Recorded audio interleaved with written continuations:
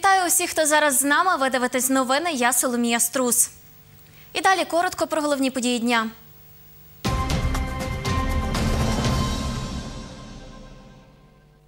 Мінімальну пенсію збільшили на 67 гривень. Перерахувати пенсії мають до 4 липня. Як можна на таку пенсію прожити нам? Заплатити квартплату, купити ліки.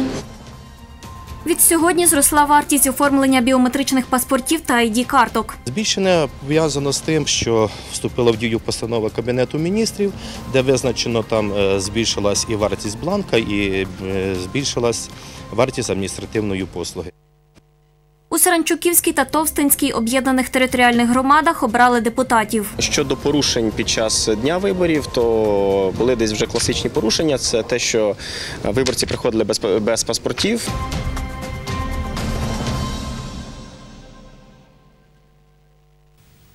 На 67 гривень більше віднині отримуватимуть пенсіонери з мінімальними виплатами та на 670 гривень більше з максимальними. Мінімальна пенсія збільшиться до 1564 гривень, а максимальна до 15 тисяч 640 гривень, повідомила начальник обласного управління застосування пенсійного законодавства Світлана Руцька. Кому та як перераховують пенсії, дізнавалася наша кореспондент Любов Гадомська. Це відділення пенсійного фонду на Майдані Волі 3 у Тернополі. У черзі на прийом з питань виплати пенсій ми нарахували 23 осіб.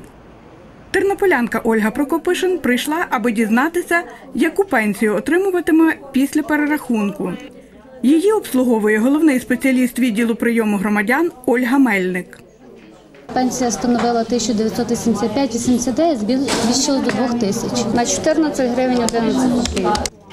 Ольга Прокопишин розповідає, має понад 30 років трудового стажу. Як можна на таку пенсію прожити нам? Заплатити квартплату, купити ліки. От ми- зараз я була після операції. Це ж теж операція. Гроші коштує. Лі- Лікарства всі за гроші. Маю глаукому, допустимо. І це лікарство я щомісяця трачу на лікарство на капання очей. Я трачу 500 гривень. Маю 102 гривні в кошельку. Як це можна жити далі? Сьогодні в області є 289 тисяч пенсіонерів, каже начальник обласного управління застосування пенсійного законодавства Світлана Руцька. Вона розповіла, кому перерахують пенсії. Ті люди, які отримували пенсію в мінімальному розмірі, відчують це підняття е, на 67 гривень. Також відчують підняття ті люди, які отримували пенсію в максимальному розмірі. Вони отримували 14 тисяч 970 гривень, тепер будуть отримувати 15 тисяч 640 гривень. Такі категорії осіб, жінки 30 років, чоловіки 35, будуть мати пенсію не менше 2 тисячі гривень. Ті люди, які ще мають надбавку за особливі заслуги, будуть мати ще зверху цю надбавку за особливі заслуги. Це вже в відсотках від прожиткового мінімуму, чи від 20 до 40 відсотків. За словами Світлани Руцької, перерахують пенсії також інвалідам війни та ліквідаторам наслідків аварії на Чорнобильській атомній електростанції. Таке коло осіб буде мати право на перерахунок пенсії від п'ятикратної заробіт... мінімальної заробітної плати відповідного року за відповідною формою. Всі масові перерахунки відбуваються автоматично. Індивідуального звернення особи не потрібно. Е, Все буде проведено в автоматичному режимі. Головне, щоб людина підлягала цьому перерахунку. Любов Гадомська, Юрій Багрій. Новини. Перераховані пенсії почнуть виплачувати з 4 липня. Скільком пенсіонерам перерахували виплати, повідомлять завтра об 11 годині під час брифінгу у пенсійному фонді, розповіла начальник обласного управління застосування пенсійного законодавства Світлана Руцька. Від сьогодні зросла вартість оформлення біометричних паспортів та id карток Відтепер ціна паспорта громадянина України для виїзду за кордон 682 гривні у разі оформлення впродовж 20 робочих днів і 1034 гривні у разі оформлення впродовж 7 робочих днів. Про це повідомив перший заступник начальника управління міграційної служби в області Іван Чубатий. Паспорт громадянина України у формі id картки з 1 липня вартує 345 гривень. У разі оформлення впродовж 20 робочих днів 470 51 гривню у разі оформлення впродовж 10 робочих днів. Детальніше про зміни у сюжеті. Ми знаходимося біля обласного управління міграційної служби. Це одна із п'яти локацій у Тернополі, де можна подати документи на виготовлення закордонного паспорта. Виготовити закордонний паспорт прийшов тернополянин Михайло Гавліч. Термін дії попереднього закінчився. Кажуть, що з 1 липня змінилася е, ціна, вартість е, паспорта. Ну, суттєво, я, якщо чесно, то я не знав. Чи на мене впливає? Ну, на даний час не, не впливає. І я не знаю, на яку вартість піднялася і на скільки процентів. Е, Ну, може, для людей цікаво. Для мене на даний час е, неважливо. Оплатити послугу виготовлення закордонного паспорта прийшов тернополянин Михайло Кінзеревич. З інтернету знав, але так не дуже б я був теж за кордоном. а тільки приїхав. Всі ціни підняв, ціни впливає, бо все б'є по карману, як кажеться. О. Але порівняно Відтепер виготовлення ID-картки терміном до 20 робочих днів подорожчало на 66 гривень, терміном до 10 днів на 105 гривень. Для людей, яким виповнилося 14 років, виготовлення ID-паспорта є безкоштовним. Ціна за виготовлення закордонного паспорта терміном до 20 робочих днів зросла на 125 гривень, терміном до 10 днів на 224 гривні. Про це повідомив перший заступник начальника управління міграційної служби в області Іван Чубатий. Він назвав причину подорожчання. Збільшення пов'язано з тим, що вступила в дію постанова Кабінету міністрів, де визначено там е, збільшилась і вартість бланка, і е, збільшилась вартість адміністративної послуги. Ну, крім цього, за е, сплату адміністративного збору 70% від якого цього збору буде надходити до місцевого бюджету. За словами Івана Чубатого, це перше подорожчання біометричних документів з 2016 року. Марта Журавель, Оксана Галіяш. Новини. Люди, які оплатили послуги виготовлення закордонного паспорта та ID-картки в червні, а документи подаватимуть у липні, мають доплатити різницю, повідомив Іван Чубатий. Додам, у червні в області документи на отримання закордонного паспорта подали 11 тисяч 292 людини. Для отримання ID-карток – 2920 людей. Студенти-медики, третьокурсники Тернопільського медичного університету сьогодні пішли складати іспит з основ медицини АйФОМ, повідомила прес-секретар університету Яніна Чайківська. На іспит з'явилися всі студенти українські та іноземні. Цей іспит вони складають вперше поряд із іспитом Крок. Зазначимо, напередодні 28 червня студенти протестували проти складання цього іспиту. Студент Роман Асман пояснив, чому. Не лякати. Вони мають нас мобілізувати. Ми дали 5 років розвинутися для того, який Майданов перекреслив їхні фізу. Нам намагаються нав'язувати американські екзамени, включають нам їх обов'язкові. Нас до них фактично не готують, не готують і фізично наш часу багато немає. Ми е, перездача в нас буде платна. Перездача платна. Порогового балу у нас немає. Ми не проти екзаменів. Ми не проти. Ми наші наші студенти не є гірше за чиїсь за інших студентів. Ми просто хочемо, щоб нас вони готували. І нам не вводили їх різко, спонтанно, щоб ми мали час підготуватися. Ось і. Проти міжнародного іспиту з основ медицини АйФОМ сьогодні протестували студенти медичних вишів у Вінниці, Сумах, Харкові, Києві, Львові, Івано-Франківську. 30 червня в Тернополі відбувся з'їзд Всеукраїнської організації медичних органів студентського самоврядування. На ньому студенти написали листа до Міністерства охорони здоров'я, в якому сформулювали спільну позицію щодо іспиту АйФОМ. Приїжджали голови та взагалі учасники студентських самоврядувань.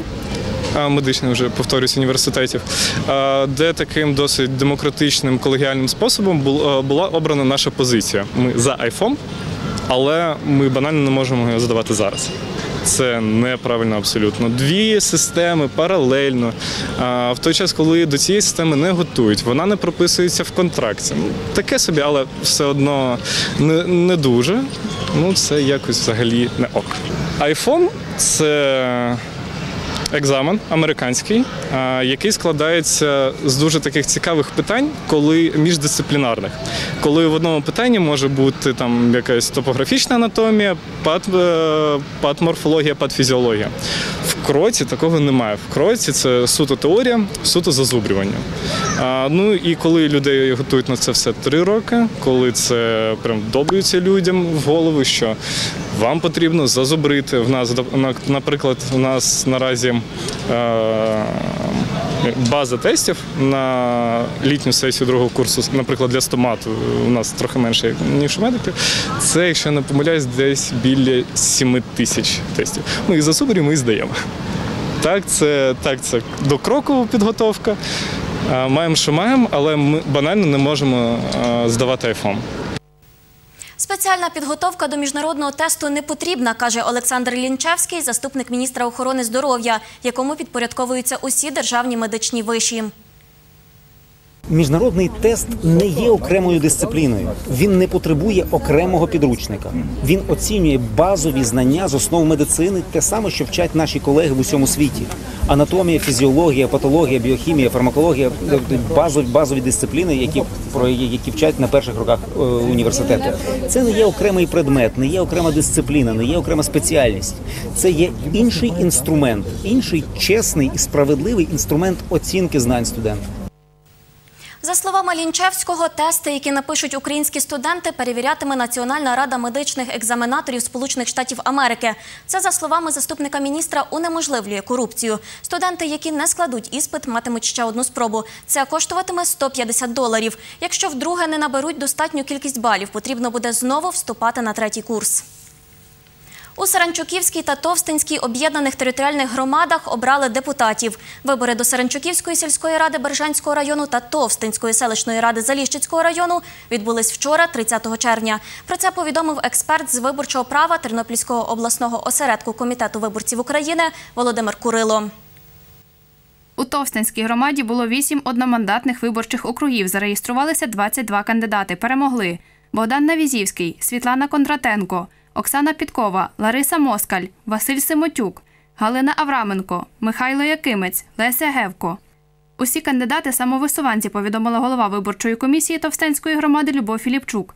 За її словами, вибори пройшли без порушень. У голосуванні взяли участь 1069 осіб. У Саранчуківській громаді було три одномандатних виборчих округи. Зареєструвалося шість кандидатів. Мандати отримали Лілія Равлюк, Оксана Дзьомба, Роман Наконечний. Усі кандидати самовисуванці вибори пройшли без порушень. У голосуванні взяли участь 156 осіб. Повідомила секретар виборчої комісії Саранчуківської громади Руслана Глинка. Директор центру суспільних досліджень Поліс Ігор Процик прокоментував проведення виборів у цих громадах так. Щодо виборів в Саранчуківській ОТГ, то там вибори відбувалися в е, Літинській сільській раді. Щодо порушень під час дня виборів, то були десь вже класичні порушення. Це те, що виборці приходили без, без паспортів. Також були е, досить незначні порушення, які стосувалися процесу підготовки, е, процесу підготовчого засідання, самого засідання, тобто відповідно процедури виконання тих, яких передбачені е, в плані послідовності, і десь були такі також незначні порушення, що стосуються підрахунку голосів. Мається на увазі також дотримання певних процедур. Але загалом вибори пройшли спокійно. Тобто значних порушень, які би вплинули на хід голосування, не було. За даними е, Товстенської селищної виборчої комісії, е, відповідно. Е, Вибори відбулися, скажімо так, досить також спокійно. Наші спостерігачі е, були на е, виборчих дільницях в цей день, де також якихось значних порушень не було за- зафіксовано. Чоловіка, який в центрі Тернополя поранив ножем двох жителів Тернопільського району, затримали. Це 21-річний житель міста Вараш Рівненської області. Його впіймали патрульні, які виїжджали на виклик. 30 червня близько 5 ранку до поліції надійшло повідомлення від невідомого про те, що на вулиці Богдана Хмельницького неподалік зупинки громадського транспорту Бійка, повідомила слідча управління Нацполіції області Адріана Слободян. За її словами, один травмований помер. Внаслідок отриманих тілесних ушкоджень один із потерпілих помер у лікарні. За даним фактом розпочато досудове розслідування у кримінальному провадженні за ознаками кримінальних правопорушень, передбачених частиною 1 статті 115 Кримінального кодексу України та частиною 4 статті 296 Кримінального кодексу України. Підозрюваного у вчиненні вказаних кримінальних правопорушень затримано в порядку статті 208 Кримінального процесуального кодексу України, повідомлено про підозру, а також на даний час вирішується питання про обрання йому міри запобіжного заходу у вигляді тримання під вартою. Це всі новини на сьогодні. Наші матеріали ви можете переглянути на сторінці у Фейсбук ЮА Тернопіль або на нашому сайті. До нових зустрічей.